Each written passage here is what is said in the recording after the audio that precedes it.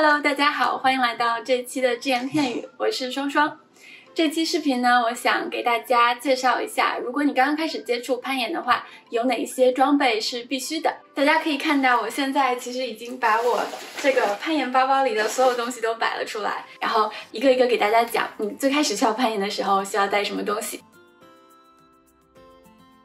首先呢，如果你想开始尝试攀岩，最重要的我觉得是要有一双好的适合你的攀岩鞋。如果你第一次去岩馆，可以租那个岩馆里的那种攀岩鞋，完全没有问题。可是岩馆攀岩鞋的几个坏处就是，首先它的鞋的那个橡胶的部分非常不好，所以你在穿租的鞋，可能你的运动表现就不如买一双自己的鞋更好。还有一点呢，就是如果你真的开始感兴趣这个运动的话，从经济的角度上来说，每一次花钱去租鞋，还不如买一双适合自己的鞋。我现在主要在穿的攀岩鞋呢是这双，是呃牌子是 So Ill，然后它的型号叫做 The Street Four。我选择它的主要原因呢，其实因为我觉得它的颜值比较高，相对于比较老牌的像 La Sportiva 或者 Evolve 这些品牌来说，So Ill 还不太被很多人知道。但是它的鞋的一个特点呢，就是普遍的颜值比较高，所以我其实有四双 So You 的鞋，呃，是这一双，然后同样的一双，因为我这双马上就要穿坏了，但是小半码，还有一双粉色的，还有一双灰色的。为什么买这么多鞋呢？因为，呃，因为我平时就比较喜欢买东西，然后每次打折的时候就会想要去囤一双。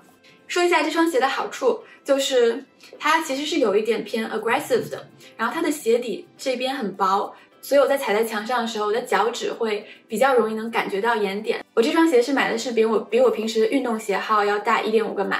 然后这里想告诉大家，其实攀岩鞋每一个品牌的鞋号都不太一样，所以呢，最好就是你要去试一下那个鞋再买。如果不能试，必须要网购的话，一定要多看一看 reviews，来帮助你决定你应该试哪个码。然后最好买那种可以免费退换的。然后这个鞋不好的地方就是，我觉得它还蛮容易穿坏的。就是我这个只是穿了半年而已，然后这里和鞋头都已经爆开了，这也就是我为什么又买了一双跟它一模一样的鞋。然后这双鞋是小半码，因为我穿了一阵这个鞋以后呢，就感觉，呃，有时候感觉它的 heel box 不是贴得很紧了。然后这小半码鞋最开始穿的挺难受的，要花了一段时间以后才会才觉得比较合适。买这双鞋呢有一个 trick。就是你去可以去它的网站，So You 在卖一些不同款鞋的 Factory Blind 的版本，就是说在它做的时候可能有一些粘胶啊什么的没有弄好，或者稍微有一些染色，呃，但是完全不影响质量。然后一般就是半价处理，像这双鞋原价是一百三十九，但是我买 Factory Blind 的都是以六十九的价格买的。然后收到以后也没有觉得它有什么开胶或者脱线的问题，我还挺满意的。对于新手来说呢，攀岩鞋其实你要知道最重要它是有不同的形状。嗯，一般新手比较适合穿的呢是比较 flat 的鞋，就是鞋底很平。然后当你进阶以后呢，你可能想要买稍微呃，就是有一些鞋弓的鞋，就这里是给你脚部更多的 support，但同时呢脚也会变得更疼一点。建议新手呢买一个鞋底很平的鞋就好，而且呃，你应该买一双鞋底比较厚的。为什么呢？因为最开始你的 footwork。应该没有很好，刚开始攀岩可能脚会在墙上乱踢什么的。如果你买鞋底很薄的鞋，很快就会穿坏了。说完攀岩鞋，下面我们说一下攀岩的时候应该穿什么衣服。其实穿什么衣服都可以，就是一般你去 gym workout 的时候，呃，穿的那种运动服就可以。大家如果看过我之前的视频，就知道我很喜欢在攀岩的时候穿裙子。这裙子其实并不是一般的裙子啊，是一个呃叫 exercise dress。我是在 Outdoor Voices 买的，然后我大概现在有八个不同的颜色。它的好处是下面有一个 lining，所以就是你在爬墙的时候也不会走光。每一次去爬的时候，都希望可以穿上自己很喜欢的衣服，然后也会给自己爬的时候带来自信。另外一个很重要的东西，你大概一定要买，那就是一个粉袋。嗯，就是像平时你看到。体操运动员或者怎么样，他们在上那个单杠的时候要双手去抹那个眉粉，粉的作用呢是防止你手出汗，然后在眼睑上打滑。然后粉袋差不多分两种，一种是这样比较大的，叫做 chalk bucket，然后一种是这种比较小的，可以挂在身上的，叫做 chalk bag。一般这种 chalk bucket 呢，在报时的时候比较常见，因为你就直接报时的时候把它放在地上，然后用手伸进去，抹完粉出来就可以去爬了。而这个呢是绑在身上是比较适合爬绳，因为爬绳的路线比较长，爬着爬着你可能要伸手到背后去，嗯，抓更多的粉，所以它是挂在身上的。所以最开始呢，根据你是想尝试抱石还是爬绳，你可以买你的第一个粉袋。嗯，如果你两个都想尝试的话，那我建议最开始买一个小粉袋就好。然后这个小粉袋呢，非常厉害，因为它是。我在 Etsy 上买的，它上面有 Corky 的图案。然后有一次攀岩大神 Chris Sharma 来我们的岩馆的时候，我还要到了他的签名，所以这个粉袋对我来说非常珍贵。然后攀岩粉袋里面的粉，一般呢，其实你在岩馆里就可以买到，所以我建议你不用去其他地方找。如果你想买比较 fancy 的粉呢，好像大家都推荐这款叫 Friction Labs。我最近买了这一包，还没有尝试。不知道会不会比 Jim 的粉更好用？然后你买来之后就把它打开，倒进你的粉袋里就可以。下面一个装备呢，如果你暴食的话就不需要，如果你爬绳的话也是必须要买的。这个就是你的 harness，中文应该是叫安全带、保护带。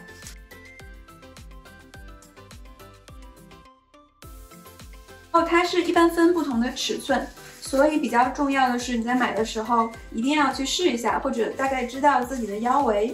因为如果这个太松的话，腰部太松的话，就没有办法起到保护的作用。这个 harness 呢，跟鞋一样，就是如果你只是想尝试一下攀岩的话，在岩馆里就可以租到。嗯，像我们这边价格大概是五块五美元租一次。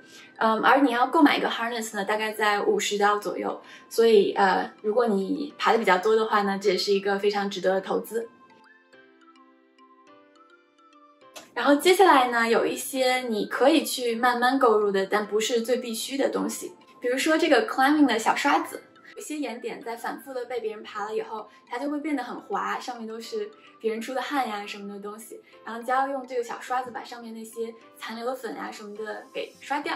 这个小刷子最开始不是很必要，因为眼管里一般都会配有刷子，或者你管别人借一下就好。而且它是一般比较。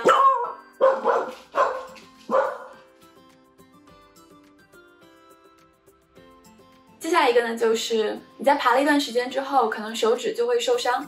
这时候呢，比较有效能让你继续爬墙，并且防止手指继续受伤的办法，就是用胶条缠在手指上，给它一些支撑。然后我最开始的时候是用这种普通的白色胶布，后来我发现我会对那个胶布的一种成分过敏，然后就找到了这个没有那种 latex 的一个一种胶布，然后它对我来说很好用，而且关键呢，它的颜值很高，是粉色的，所以我就会。每次攀岩之前，先会取下来一小段胶布，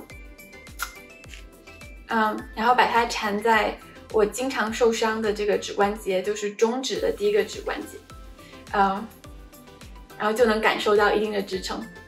还有一个容易受伤的就是手腕，像我现在已经戴着一个护腕，是因为最近爬墙太过于用力，然后损伤了右手的手腕。在你开始接触到一些 pinches 那种捏点或者 slopers 大圆点的时候呢，很容易造成手腕的损伤。所以呢，我就买了一些不是攀岩专用的，就是在药店或者 Amazon 就可以买到的。还有呢，就是当然你需要补水，需要带一个大的水瓶。这个东西是 warm up 用的一个袋子，就是能让我比较好的去热身我的肩膀和胳膊。然后最后呢，就是给大家看一下我攀岩的包包。其实我就用一直在用一个很普通的 gym bag，嗯，就是平时 workout 也会带的一个，也会用的一个这种 duffel bag，然后就会把所有的东西往里面一塞，然后带着去岩馆。如果是户外的话，我有一个更专业一点包包，因为里面有呃要有很多不同的小口袋放不同的东西。但是对于嗯去岩馆来说呢，你可以就随便用一个你的书包或者单肩包，能放得下这些东西就好了。